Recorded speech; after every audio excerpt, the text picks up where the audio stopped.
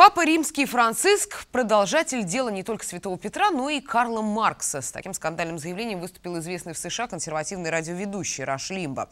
В заявлении, сделанном Лимба, цитируется последняя энциклика Папы Франциска. В документе, который назван «Евангелическая радость», понтифик не только призывает к реформе римско-католической церкви, но и подвергает критике принципы современного капитализма. В частности, Папа приводит высказывание святого Иоанна Златоуста о том, что отказ делиться богатством с неимущими – это все равно что красть у бедных, а поклонение деньгам ведет к проявлению новых видов тирании среди людей. Эти тезисы вызвали резкое раздражение у Раши Лимба, который не принадлежит католической церкви и считает себя принципиальным противником левых идей.